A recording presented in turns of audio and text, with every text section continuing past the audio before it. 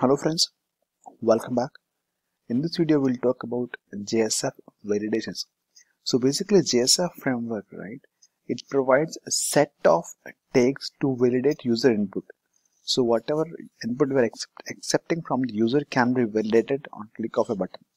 So for that JSF provides its own set of validators. So like here in this video we'll talk about f colon validate required. It's a tag to make sure that the particular value had some input from the user.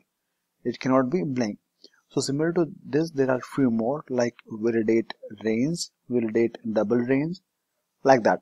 We'll talk about each one in the coming videos, but as uh, like as part of this video, we'll just focus on f colon validate required tag. It's like self-explanatory. It says validate required means the particular field should have some value from the user. So what I'm going to do is I'll just go and create a new project, a dynamic web project, and I'll call it JSF validation. JSF validation. Next, next, I need web.xml file. So Right now I'm just creating a dynamic web project. Okay, now you can see I have my project here, JSF validation. What I will do is I'll just go to properties and project facets here. I'll just go and enable JSF 2.3. So basically I am enabling JSF support for this project here. I'll just use JSF library configuration. There are a couple of ways. So I do not want to my system to make use of any library. I will provide library for JSF support. Okay, so I'll keep the settings as it is. Disable if if you are having some other value, maybe like library provided by target runtime, user library, or third option disable. So just go with third, disable, then click on OK. Apply. So what this process will do is it will go and create faces desk config.xml file in the project here. Okay. Now the next thing which we need is we need a library to support JSF validation. So what I will do is I'll just go to the any existing project and I'll copy the library. Let's see if it works. So jar which I'm using is javax.faces 2.4.0. Now we have the jar in our project. Okay. Let me show you something else. Let me just close down this one. When you enable uh, faces configuration in your project, right? It creates some entry. See servlet mapping feature servlet and your welcome file list. Okay. Index.xhtml I use. So I'll keep these entries as it is as of now. So now this project JSF validation is good enough to support JSF components. Okay. So to understand the validation what I will do is let me close this thing. What I will do is let me just go and create a package first this inside src folder. I'll just go and create a package. Package I'll call it com.jsf validation. Okay? And inside this I'll create my bean file. So basically we'll just create a user bean or a login bean login bean let's create a login bean login bean I'll call it yeah let's call it login bean. Okay. So this is my bean class login bean. But we have to explain we have to register this bean in faces desk configuration file. So I'll call it as register your bean class. How do we register? We have something called manage bean tag. Inside this tag we need to mention manage bean name. So bean name I'll call it login bean if you see class name is capital L uh, bean id is login bean. So this is my bean id now we have to mention the bean class. So bean class you have to mention with your package com.jsf validation dot login bean. Okay? And we also need to define the scope bean scope. So i'll call it as a request. So there are few more but as part of this video we'll go with the scope.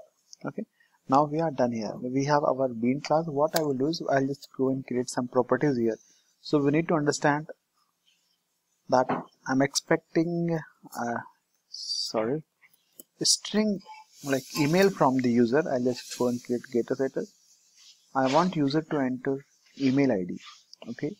Now we'll go and create the UI part. So what I will do for that is inside web content I'll just go and create a folder to store all our pages.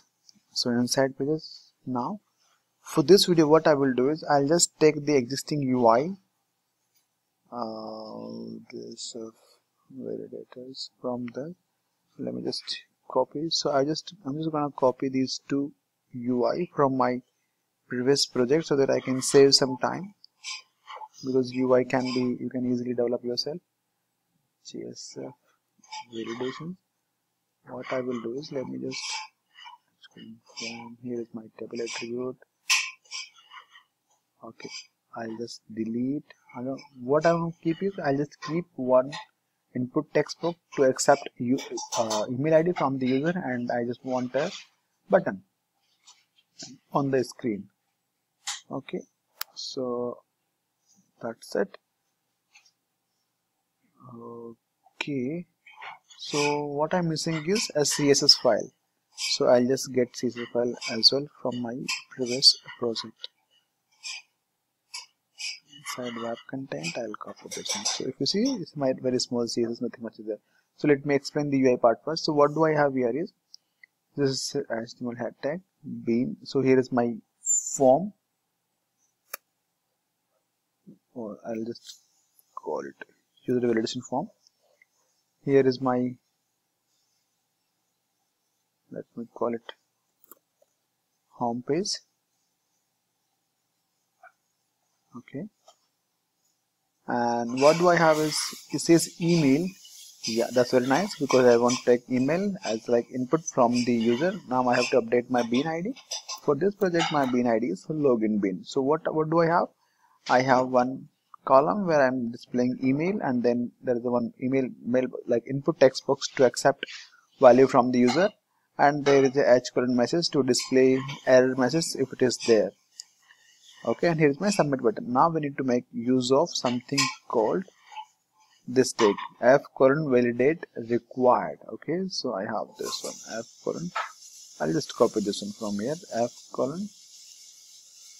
I'll just f colon validate required is the tag which we want to use now there is something called we need to mention a message. In case if it is not there then what I can do is email ID is required. Uh, this is what what is this this is my error message. In case if user does not enter email ID and simply click on the submit button I want user to display message like er error message. Email ID is required.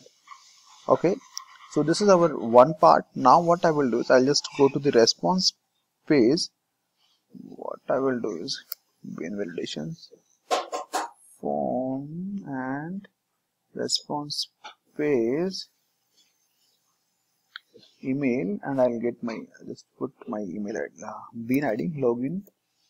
Bean don't worry guys. I'll share the code with you. I'll just mention the the uh, download link to download this project in the description box. From there you can get this one.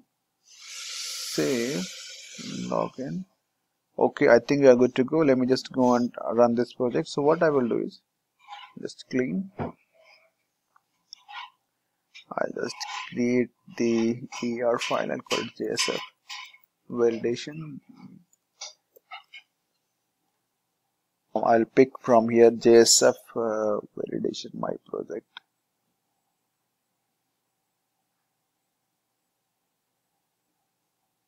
so I'll select JSF validation is our project. Click next. I'll just go and deploy this project on the server. So here is our server. What I will do is simply I'll go and add project. JSF validation. Okay. So I'm hoping it should work in case of errors. We'll see. Okay. So let us. So now you can see JSF this particular project has been deployed and started. I'll just go and run this index.xml file on the server localhost. So wait for this screen to come up. If you guys want I can just simply explain what I've done here is here is our main page index.xml there we have one output text box to display the content email and there's one input text box to take the user input. Inside this one I have mentioned f colon f colon validate required is the tag that we are going to learn here. So the purpose of this particular tag is this particular tag is just to make sure that user enter some value in this input text box here. In case if user does not enter any value here there will be a error message on the screen. So let's see. If i simply click on submit button see email id is required.